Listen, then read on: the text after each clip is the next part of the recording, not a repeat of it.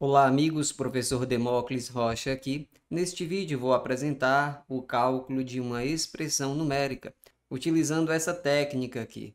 Primeiro nós trabalhamos com parênteses, colchetes, depois expoentes e raízes, em seguida multiplicações e divisões na ordem em que aparecem e finalmente adições e subtrações na ordem em que aparecem. Como nós não temos parênteses aqui nessa expressão, vamos trabalhar com os expoentes, com as potências, né? Percebemos que nós não temos raízes, então vamos calcular cada uma dessas potências e ir substituindo. Veja que esse 75 aqui inicial vou só repetir, vou repetir esse sinal de menos. Em seguida eu tenho 8 elevado a 2. Vamos fazer aqui no cantinho 8 elevado a 2. Isso é o mesmo que 8 vezes 8. E 8 vezes 8, você sabe da tabuada, que é 64. Então, onde eu tenho 8 elevado a 2 aqui, isto é, onde eu tenho 8 ao quadrado, eu já vou substituir por 64. Eu vou seguir em frente repetindo esse sinal de mais, vou repetir esse menos, esse sinal de vezes, e agora eu vou fazer o quê? 3 elevado a 3. Vamos aqui para o cantinho. 3 elevado a 3. Isso é o mesmo que uma multiplicação com três fatores repetidos, já que o expoente aqui, ó, ele é 3. Vamos calcular juntos? 3 vezes 3 é 9 e 9 vezes 3 é 27. Muito bem. Então, 3 elevado a 3, isto é, 3 ao cubo, é 27. É isso que eu vou substituir bem aqui. Veja só, aqui está. Em seguida, vou repetir o sinal de menos, vou repetir o 108, vou repetir esse sinal de divisão, e agora, o que, que eu tenho ali? Mais uma potência. Temos 6 elevado a 2. Vamos fazer aqui o cálculo no cantinho. 6 elevado a 2 corresponde a uma multiplicação com dois fatores repetidos. É o mesmo que 6 vezes 6. E 6 vezes 6 é 36. Então, aqui está 36. E agora vamos seguir em frente, olhando para a nossa expressão. Percebemos que não temos mais expoentes, não temos raízes. E agora o que vamos fazer? Vamos dar prioridade para multiplicação e divisão na ordem que aparecem. Então, veja só, eu olho para a expressão toda, observo que tem uma multiplicação bem aqui. Vou fazer essa multiplicação. Vamos fazer juntos aqui?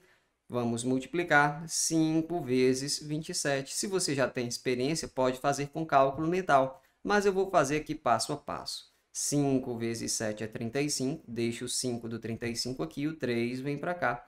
5 vezes 2 em seguida é 10, e 10 mais 3 é 13. Então, nosso resultado é 135. O resultado dessa multiplicação aí é 135. Beleza? O que mais nós temos? Temos também divisão. Vamos fazer divisão. Vou repetir esse sinal de menos bem aqui. Vou fazer agora essa divisão. Observe, vou fazer a divisão, vou colocar o resultado bem aqui.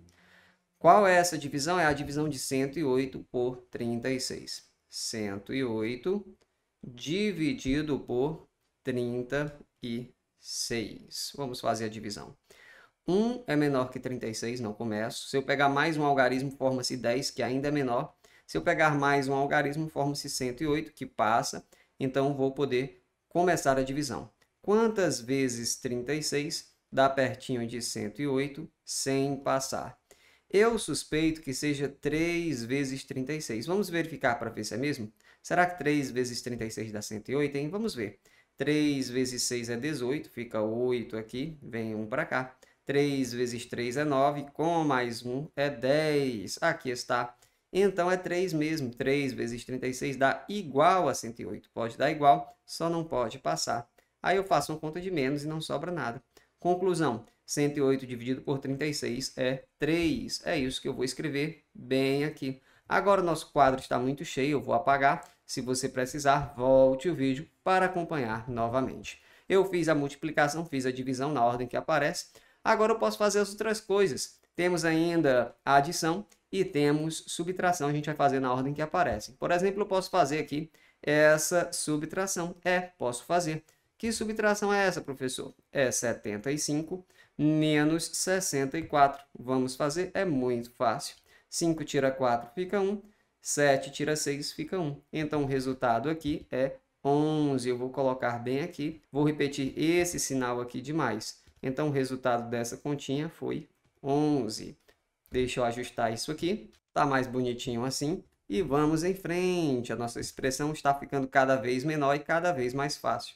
Temos aqui uma adição e temos uma subtração. Vou fazer na ordem que aparecem, tá? Então, temos aqui 11 mais 135. Vamos fazer a continha aqui no canto? 11 mais 135. Observe o cuidado que eu tive ao posicionar os números.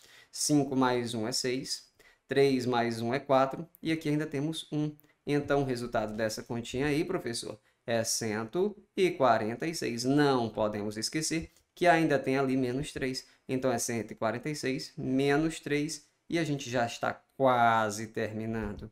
Basta fazer até com cálculo mental essa daqui, né? 146 menos 3 é 143. Beleza, está na hora de dizer que este vídeo foi feito de coração para te ajudar. Se ele te ajudou e você quiser me ajudar de volta, deixe um comentário com uma carinha sorrindo, compartilhe o vídeo. Se você quiser colaborar com esse projeto, envie um Pix de qualquer valor para 85987265376. A gente fica por aqui, um abraço e até a próxima. Tchau!